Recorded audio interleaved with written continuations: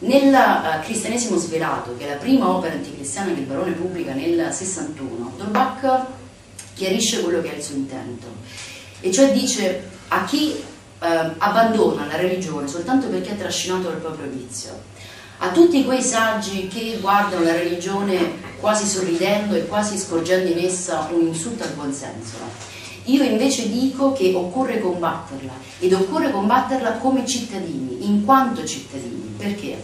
Perché la religione è nociva al benessere dello Stato, è eh, nemica dei progressi dello spirito umano ed è opposta alla sana morale. Secondo Dolbach, eh, nonostante diciamo, Dolbach critica tutto quello che può essere criticato del fenomeno cristiano, cioè eh, ne critica la formulazione dell'Antico Testamento, critica il Nuovo Testamento, critica le profezie, i dogmi, la teologia, la storia della Chiesa, ma la preoccupazione principale di Dolbach è quella di um, proporre agli uomini del suo tempo e non solo una morale eh, molto più fedele a quello che è l'uomo in realtà. Cioè l'uomo è un essere privo di anima, ma assolutamente saturo di materia. È un essere necessitato in ogni sua azione ed è un essere, e, e, se noi partiamo da questa immagine antropologica, dobbiamo anche poi proporgli una morale che tenga conto di, di questi dati. E quindi Dolbach si scaglia contro la morale religiosa, sia la morale del Vecchio Testamento sia la morale del Nuovo Testamento. Perché? Innanzitutto Dolbach dice il grosso problema dei cristiani, e soprattutto in ambito morale, è che i cristiani hanno un Dio improponibile dal punto di vista morale il Dio del Vecchio Testamento è un Dio che eh, ordina, eh, che, che, che, chiede eh, la pace ma che poi ordina dei massacri. È un Dio che è il Dio degli eserciti. Eh, e Dolbach dice nelle Sacre Scritture voi potete trovare tutto il contrario di tutto. È per questo che è un testo assolutamente pericolosissimo. La morale, secondo Dolbach, deve essere una, deve valere sempre indipendentemente dallo Stato, dalla nazione nella quale deve essere esercitata. E fondare la morale su un Dio mutevole, su un Dio che cambia, e anche se diventa buono, come dice lui nel Nuovo Testamento, anche la morale che propone Gesù nel famoso discorso della montagna è una morale improponibile perché è eccessiva. E Dolbach dice il grosso difetto dei cristiani è che non sanno mai eh, tenere il giusto mezzo, sbagliano sempre o per eccesso o per difetto. Ad esempio, um, un conto quando Dolbach parla della castità, dice hanno uh, buttato fango sulle virtù dei pagani dicendo che erano assolutamente false virtù e dicono che la morale, la vera morale è nata con, con Cristo con, e con i valori da lui professati. In realtà i pagani eh, hanno formulato un discorso morale che era molto più stabile e umanamente fattibile di quello formulato dai cristiani.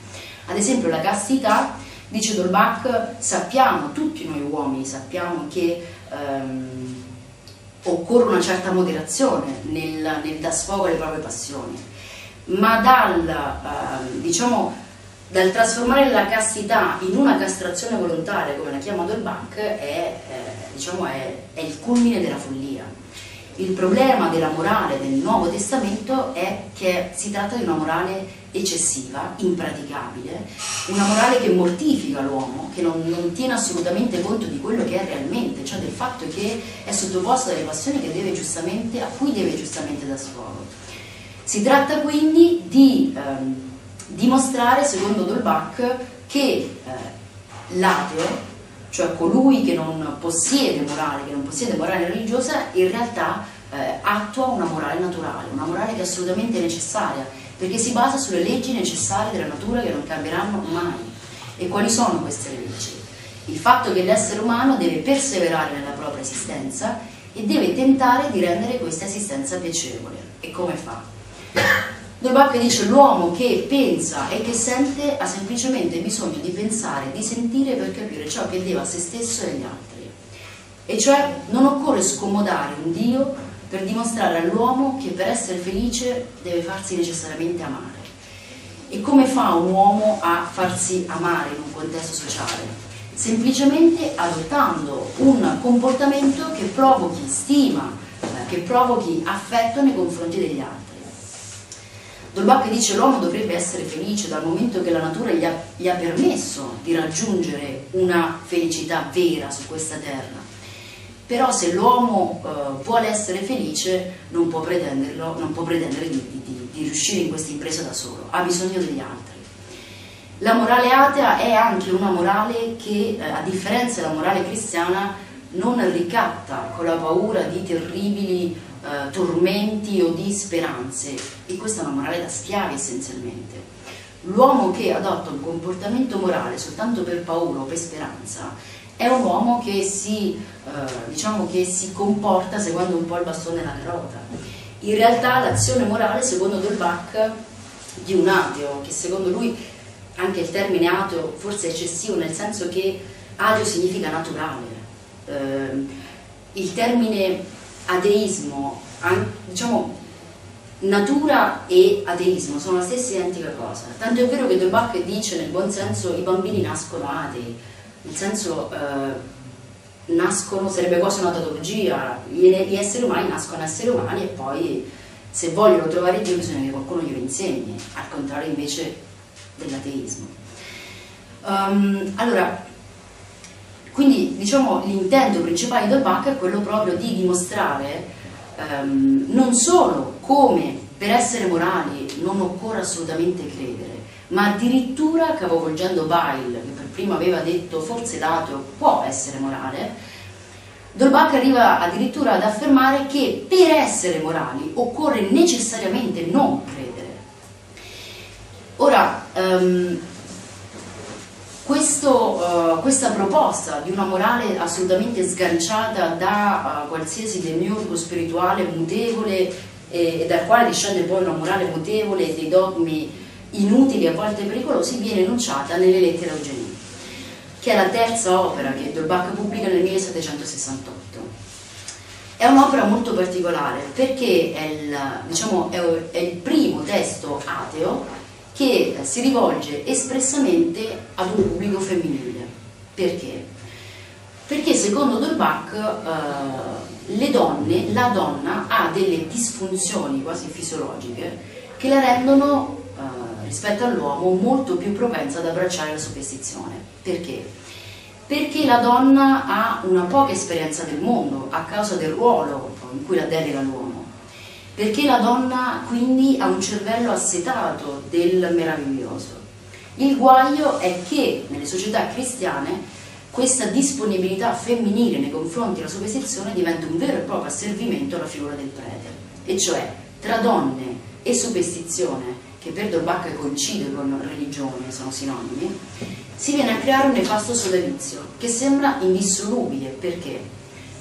Perché la donna riesce a dar sfogo, secondo Dolbach, a una certa repressione eh, che vive eh, proprio per il ruolo sociale che deve giocare e riesce anche a dar sfogo a una certa civetteria insaziabile che secondo Dolbach è una, una caratteristica del gentil sesso. D'altra parte il prete sa benissimo che è dalla donna che dipende il mantenimento della superstizione. Perché? Perché la donna gioca un ruolo importantissimo nell'educazione della prole. Da una donna religiosa eh, quasi per necessità discendono eh, figli superstiziosi e quindi una donna superstiziosa consegnerà alla società dei cittadini superstiziosi. Quindi il prete sa che fin quando ha il dominio eh, sulla donna diciamo, ha, ha, ha il dominio assicurato. Quindi pensare di convertire gli uomini al buon senso, e cioè all'ateismo, a questo paradigma che non ha bisogno di Dio per reggersi, senza preoccuparsi delle consorti, significa lottare in vano.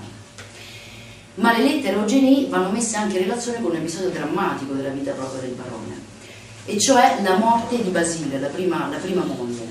Basile morì eh, tremando dalla paura di eh, essere dannata e cioè eh, morì in preda al terrore e panico perché era assolutamente certa che sarebbe finita all'inferno.